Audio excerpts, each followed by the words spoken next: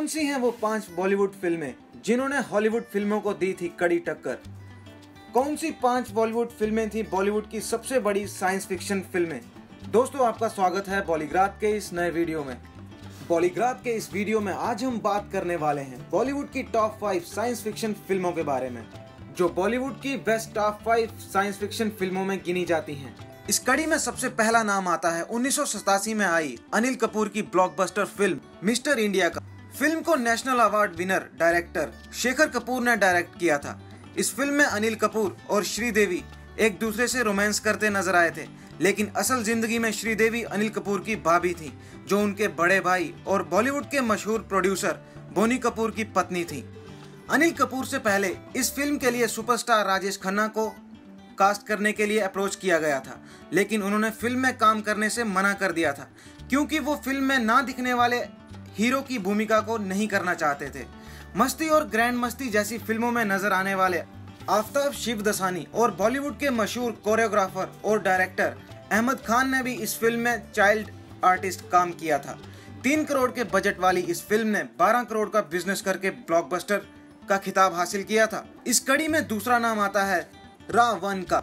Film में शाहरुख खान और करीना कपूर नज़र आए थे, जबकि फ़िल्म में अर्जुन रामपाल ने एक विलेन के कैरेक्टर को प्ले किया था, जिनके कैरेक्टर का नाम रावण था और शाहरुख खान के कैरेक्टर का नाम जीवन।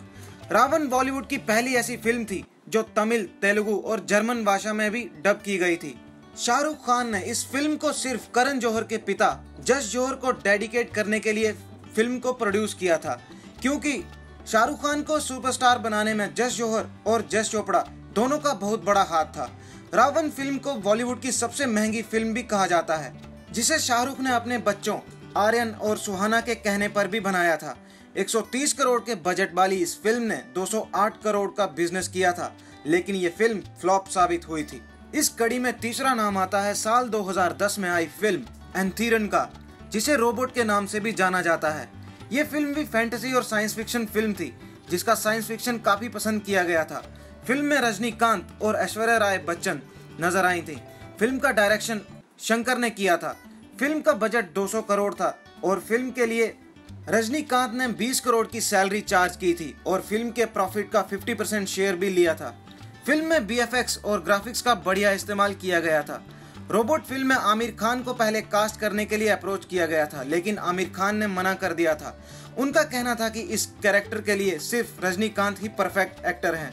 अमेरिकन चैनल एच ने भी फ़िल्म की मार्केटिंग को हैंडल किया था। इसी कड़ी में चौथा नाम आता है साल 2013 में आई राकेश रोशन के डायरेक्शन में फ़िल्म क्रिश थ्री का, जिसमें साइंस फिक्शन का बढ़िया यूज़ किया गया था। फ़िल्म क्रिश का नेक्स्ट पार्ट थी।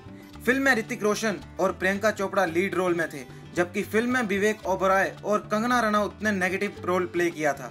फ़िल्म में कंगना की जगह पहले चित्रांगदा सिंह और जैकलीन को अप्रोच किया गया था, लेकिन ऐसा नहीं हो सका।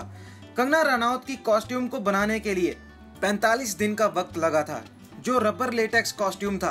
विवेक ओब्रॉय की कॉस्ट्यूम मेटल की थी, जिसका वेट 28 किलो था। फ़िल्म में ज़बरदस्त एक्शन देखने को मिला था। क्रिस थ्री ने दो सौ बानवे करोड़ का बिज़नेस किया था। इसी कड़ी में पांचवा नाम आता है, साल 2018 में आई 2.0 का। ये फ़िल्म ब्लॉकबस्टर रही थी। ये फ़िल्म रजनीकांत की फ़िल्म एंथीरन का अगला पार्ट थी, जिसने बिज़नेस के कई रिकॉर्ड्स अपने नाम किए थे। हालाँकि फ़िल्म का बजट भी काफ़ी ज़्यादा था। फ़िल्म में साइंस फिक्शन को हॉलीवुड फ़िल्मों की तरह दिखाया गया था। 2.0 ने हॉलीवुड फ़िल्मों को टक्कर दी थी। इस फ़िल्म में अक्षय कुमार ने विलन के कैरेक्टर को प्ले किया था, लेकिन ये बहुत कम लोग जानते हैं कि फ़िल्म में अक्षय कुमार से पहले साउथ के सुपरस्टार कमल हसन, आमिर खान, ऋतिक रोशन, नील नितिन मुकेश और हॉलीवुड सुपरस्टार अर्नोल्ड को भी लेने की प्लानिंग थी, लेकिन ऐसा नहीं हो सका था। इस फ़िल्म के लिए हॉलीवुड से भी टेक्नीशियन टीम बुलाई गई थी, जिन्होंने हॉलीवुड की सुपरहिट फ़िल्मों मैन इन ब्लैक और ट्रांस लेगेसी में भी काम किया था। अक्षय कुमार ने कहा था कि जितना मेकअप उन्होंने इस फ़िल्म में विलेन के रोल के लिए किया है, उतना मेकअप उन्होंने अपने 25 साल के फिल्मी कैरियर में किसी भी फ़िल्म के लिए नहीं किया है। साढ़े पाँच सौ करोड़ के बजट वाली इस फ़िल्म ने 800 करोड़ का बिज़नेस करके बॉक्स ऑफ़िस पर अपना दबदबा कायम कर दिया था। अगर आप साइंस फिक्शन फ़िल्मों को पसंद करते हैं तो ये सभी फ़िल्में आपके लिए हैं, और इन फ़िल्मों को ज़रूर देखें। बॉलीवुड की ऐसी ही टॉप फाइव की और जानकारी के लिए देखते रहिए बॉलीग्राज स्टूडियोज